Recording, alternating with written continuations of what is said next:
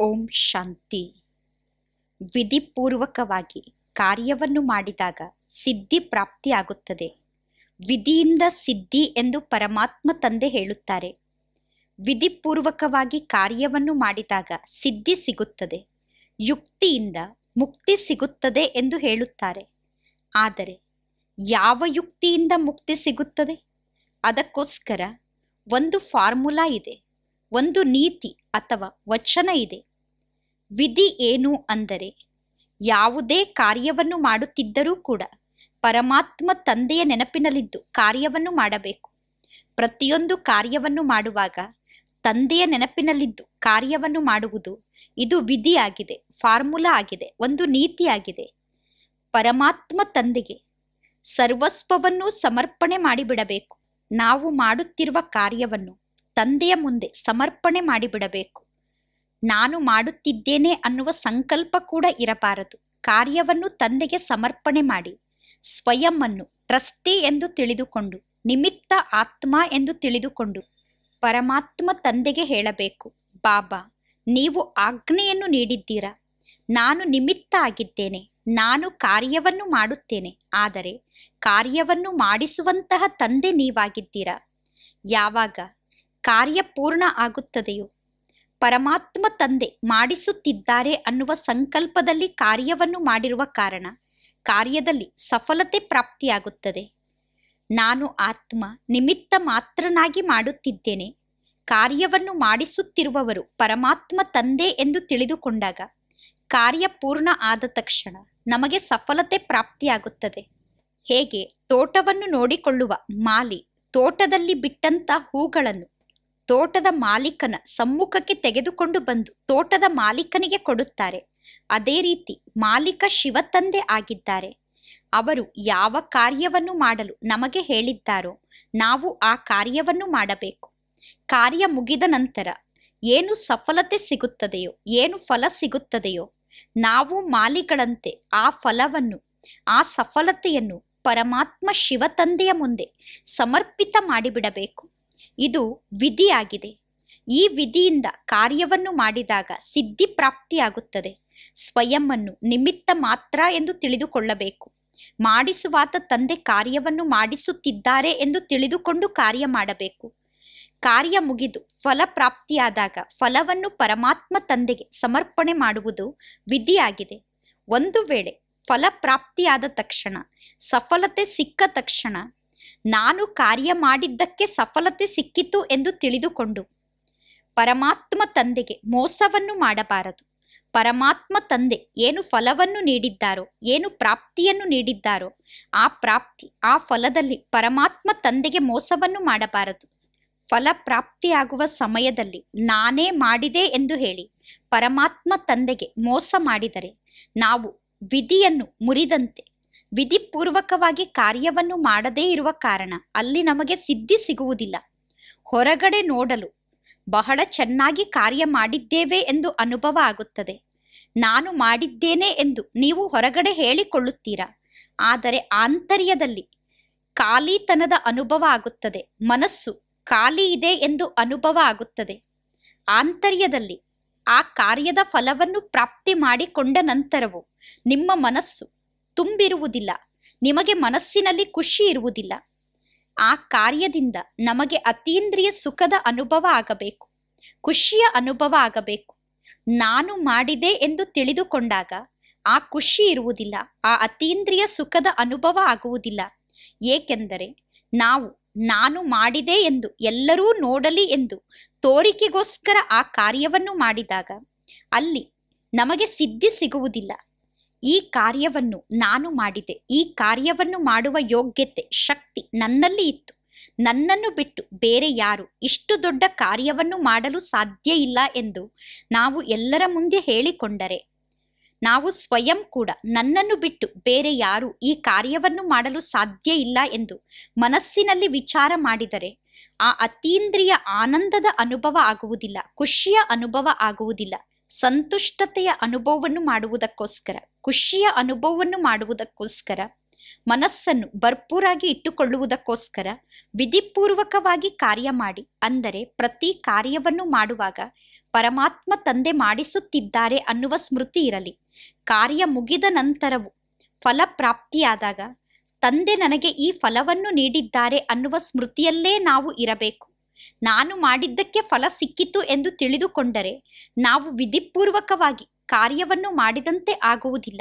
ಆಗ ನಮಗೆ ಸಿದ್ಧಿ ಕೂಡ ಪ್ರಾಪ್ತಿ ಆಗುವುದಿಲ್ಲ. ಬ್ರಹ್ಮನ ಮೂಲಕ ಸ್ಥಾಪನೆ ಎಂದು ಕರೆಯುತ್ತೇವೆ. ಬ್ರಹ್ಮ ತಂದೆ ಯಾವ ಆಧಾರದಿಂದ ಸ್ಥಾಪನೆಯ ಕಾರ್ಯವನ್ನು ಮಾಡುತ್ತಾರೆ? ಪವಿತ್ರತೆ ಶಕ್ತಿಯಿಂದ, ಯೋಗದ ಶಕ್ತಿಯಿಂದ, ಜ್ಞಾನದ ಶಕ್ತಿಯಿಂದ ಬ್ರಹ್ಮ ತಂದೆ ಸ್ಥಾಪನೆಯ ಕಾರ್ಯವನ್ನು ಮಾಡುತ್ತಿದ್ದಾರೆ. ಜಗತ್ತಿನ ಜನ ಕೂಡ ಹೇಳುತ್ತಾರೆ, ಬ್ರಹ್ಮ ಹೊಸ ಸೃಷ್ಟಿಯನ್ನು ರಚನೆ ಮಾಡುತ್ತಾರೆ ಎಂದು. ಬ್ರಹ್ಮನಿಂದ ಹೊಸ ಜಗತ್ತಿನ ಸ್ಥಾಪನೆ ಆಗುತ್ತದೆ ಎಂದು ಶಾಸ್ತ್ರದಲ್ಲೂ ಬರೆದಿದೆ.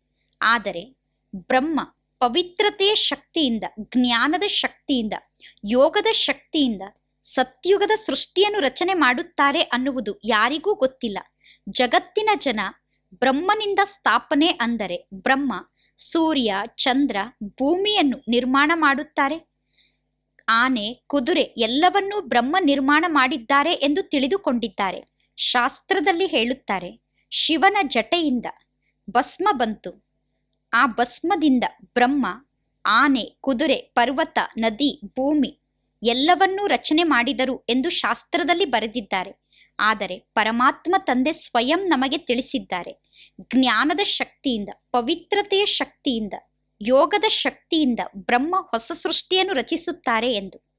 ಒಂದು ವೇಳೆ ನಾವು ಮಾಡುತ್ತಿರುವ ಕಾರ್ಯದಲ್ಲಿ ಜ್ಞಾನದ ಶಕ್ತಿ ಇಲ್ಲ, ಯೋಗದ ಶಕ್ತಿ ಇಲ್ಲ, ಪವಿತ್ರತೆಯ ಶಕ್ತಿ ಇಲ್ಲ ಅಂದರೆ ನಾವು ಮಾಡುವ ಕಾರ್ಯ, ಹೊಸ ಸೃಷ್ಟಿಯ, ನಿರ್ಮಾಣದ ಕಾರ್ಯ ಆಗಲು ಸಾಧ್ಯ ಇಲ್ಲ. ನಾವು ಮಾಡುವ ಕಾರ್ಯ ನಮಗೆ ಹೆಸರು, ಕೀರ್ತಿ, ಗೌರವವನ್ನು ನೀಡಬಹುದು. ಆದರೆ ಪರಮಾತ್ಮ ತಂದೆಯ ಸ್ಥಾಪನೆಯ ಕಾರ್ಯದಲ್ಲಿ ನಾವು ಜ್ಞಾನದ ಶಕ್ತಿ, ಯೋಗದ ಶಕ್ತಿ, ಪವಿತ್ರತೆಯ ಶಕ್ತಿ ಇಲ್ಲದೆ ಸಹಯೋಗಿ ಆಗಲು ಸಾಧ್ಯ ಇಲ್ಲ. ಪರಮಾತ್ಮ ತಂದೆಯ ಮಕ್ಕಳಾದ ನಾವು. ಎಷ್ಟೇ ಸೇವೆಯನ್ನು ಮಾಡಬಹುದು, ಅನೇಕ ಪ್ರದರ್ಶನದಲ್ಲಿ ಜ್ಞಾನವನ್ನು ಹೇಳಬಹುದು ಕಾನ್ಫರೆನ್ಸ್ ಅನ್ನು ಮಾಡಬಹುದು ಮೀಟಿಂಗ್ ಅನ್ನು ಮಾಡಬಹುದು.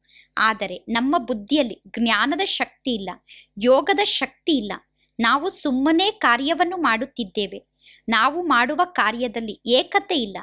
ಬಹಳಷ್ಟು ಗಲಾಟೆಯನ್ನು ಮಾಡಿಕೊಂಡು ಉಪ್ಪು ನೀರಿನ ಸಮಾನಾಗಿ ಜಗಳ ಆಡಿ ಪರಸ್ಪರ ಈರ್ಷೆ ದ್ವೇಷವನ್ನು ಇಟ್ಟುಕೊಂಡು ಪರಮಾತ್ಮ ತಂದೆಯ ಸೇವೆಯನ್ನು ಮಾಡಿದರೆ ಆ ಸೇವೆಯಿಂದ ಸತ್ಯುಗದ ಸ್ಥಾಪನೆ ಆಗಲು ಸಾಧ್ಯ ಇಲ್ಲ. ಎಷ್ಟು ನಿಮ್ಮಲ್ಲಿ ಜಾಸ್ತಿ ಪವಿತ್ರತೆಯ ಶಕ್ತಿ ಇರುತ್ತದೆ, ಅಷ್ಟು ಸಹಜವಾಗಿ ಪರಮಾತ್ಮ ತಂದೆಯ ಕಾರ್ಯದಲ್ಲಿ ಸಿದ್ಧಿ ಪ್ರಾಪ್ತಿಯಾಗುತ್ತದೆ. ಒಂದು ವೇಳೆ ನೂರಕ್ಕೆ ನೂರು ಪರ್ಸೆಂಟ್ ನಿಮ್ಮಲ್ಲಿ ಪವಿತ್ರತೆ ಇದ್ದರೆ ನಿಮ್ಮ ಮೂಲಕ ನೂರಕ್ಕೆ ನೂರು ಪರ್ಸೆಂಟ್ ಸತ್ಯುಗದ ಕಾರ್ಯ ನಡೆಯುತ್ತದೆ.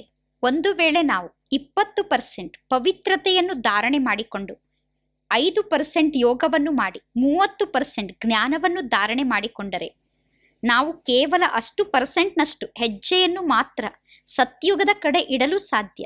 ಸತ್ಯುಗದ ಕಾರ್ಯವನ್ನು ಪರಮಾತ್ಮ ತಂದೆ ಪ್ರಾರಂಭ ಮಾಡಿದ್ದಾರೆ. ಸತ್ಯುಗದ ಸೃಷ್ಟಿಯ ಕಾರ್ಯ ಆರಂಭ ಆಗಿದೆ. ಅದಕ್ಕೋಸ್ಕರ ಯೋಗಯುಕ್ತರಾಗಿ, ಜ್ಞಾನಯುಕ್ತರಾಗಿ, ಸಂಪೂರ್ಣ ಪವಿತ್ರರಾಗಿ ಪರಮಾತ್ಮ ತಂದೆಗೆ ಸಹಯೋಗವನ್ನು ನೀಡಬೇಕು. ಪ್ರತಿಯೊಂದು ಕಾರ್ಯವನ್ನು ಮಾಡುವಾಗ ವಿಧಿಪೂರ್ವಕವಾಗಿ ಕಾರ್ಯವನ್ನು ಮಾಡಬೇಕು.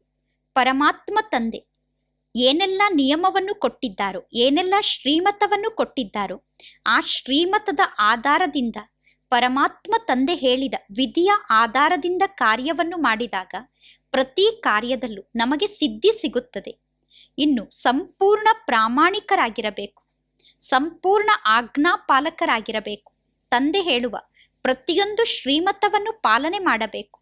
ಆಗ ಪ್ರತಿ ಕಾರ್ಯದಲ್ಲೂ ನಮಗೆ ಸಫಲತೆ ಸಿಗುತ್ತದೆ. ನಾವು ಸಿದ್ಧಿ ಸ್ವರೂಪ ಆತ್ಮರಾಗಬೇಕು ಎಂದು ಬಯಸುತ್ತೇವೆ. ಪ್ರತಿ ಕಾರ್ಯದಲ್ಲೂ ಸಿದ್ಧಿಯನ್ನು ಪಡೆದುಕೊಳ್ಳಬೇಕು. ಪ್ರತಿ ಕಾರ್ಯದಲ್ಲೂ ನನಗೆ ಸಿದ್ಧಿ ಸಿಗಬೇಕು. ಯಾವ ಕಾರ್ಯದಲ್ಲೂ ನಾನು ಸೋಲಬಾರದು, ಅಸಫಲ ಆಗಬಾರದು ಎಂದು ಬಯಸುತ್ತೇವೆ. ಅದಕ್ಕೋಸ್ಕರ ಪರಮಾತ್ಮ ತಂದೆ ಹೇಳುತ್ತಾರೆ, ಯೋಗಯುಕ್ತರಾಗಿ, ಜ್ಞಾನಯುಕ್ತರಾಗಿ, ಪವಿತ್ರತೆಯ ಶಕ್ತಿಯನ್ನು ಧಾರಣೆ ಮಾಡಿಕೊಂಡು ಕಾರ್ಯವನ್ನು ಮಾಡಿ. ಆಗ ಪ್ರತಿ ಕಾರ್ಯದಲ್ಲೂ ಸಿದ್ಧಿ ಸಿಗುತ್ತದೆ. ಪರಮಾತ್ಮ ತಂದೆ ಹೇಳುತ್ತಾರೆ, ಮಾಡಿಸುವಾತ ತಂದೆಯ ಸ್ಮೃತಿಯಲ್ಲಿದ್ದು ಪ್ರತಿಯೊಂದು ಕಾರ್ಯವನ್ನು ಮಾಡಿ.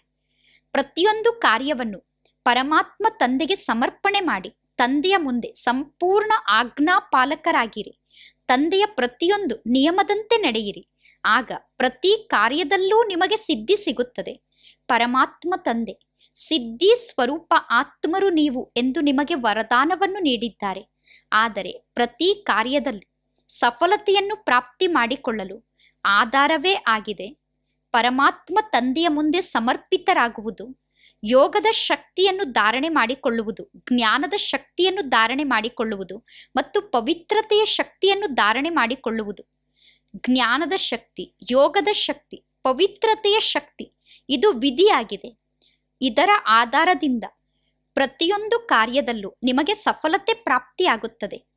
ನೀವು ಯಾವಾಗ ತಂದೆಯ ಶ್ರೀಮತದಂತೆ ಕಾರ್ಯವನ್ನು ಮಾಡುತ್ತೀರೋ, ಆಗ ಸಫಲತೆ ನಿಮ್ಮ ಹಿಂದೆ ಹಿಂದೆ ಬರುತ್ತದೆ. ನೀವು ತಂದೆಯ ಶ್ರೀಮತವನ್ನು ಬಿಟ್ಟು, ನಾನು ಮಾಡಿದೆ ಅನ್ನುವ ಅಭಿಮಾನಕ್ಕೆ ವಶ ಆಗಿ ಹೆಸರು, ಕೀರ್ತಿ, ಗೌರವದ ಇಚ್ಛೆಯಿಂದ ಸೇವೆಯನ್ನು ಮಾಡಿದರೆ, ಕೀರ್ತಿಯ ಇಚ್ಛೆಯಿಂದ ಕಾರ್ಯವನ್ನು ಮಾಡಿದರೆ ಅದರ ಫಲ ನಿಮ್ಮಿಂದ ದೂರ ದೂರ ಹೋಗುತ್ತದೆ. ಆದ್ದರಿಂದ ಹೆಸರು, ಕೀರ್ತಿ, ಗೌರವದ ಇಚ್ಛೆಯನ್ನು ತ್ಯಾಗ ಮಾಡಿ, ಮಾಡಿಸುವಾತ ತಂದೆಯ ಸ್ಮೃತಿಯಲ್ಲಿದ್ದು, ವಿಧಿಪೂರ್ವಕವಾಗಿ ಪ್ರತಿಯೊಂದು ಕಾರ್ಯವನ್ನು ಮಾಡಿ, ಸಂಪೂರ್ಣ ಸಿದ್ಧಿಯನ್ನು ಪ್ರಾಪ್ತಿ ಮಾಡಿಕೊಂಡು, ಸಿದ್ಧಿ ಸ್ವರೂಪ ಆತ್ಮರಾಗಬೇಕು. ಒಳ್ಳೆಯದು. ಓಂ ಶಾಂತಿ.